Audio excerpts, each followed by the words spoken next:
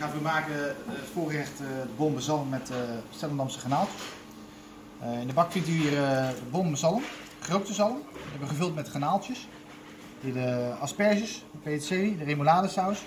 Dat is een saus op basis van mayonaise, kappertjes, augurk, bieslook en dragon. En hier hebben we wat takjes dille om te garneren. Pakken we eerst de gesneden asperges. Die legt u als het ware in de vogelnestjes helemaal op bord.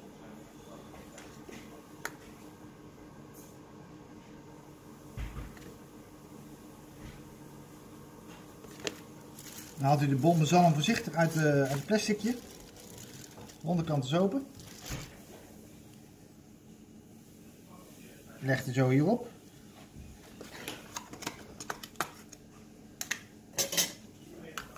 Pakt u de remouladesaus.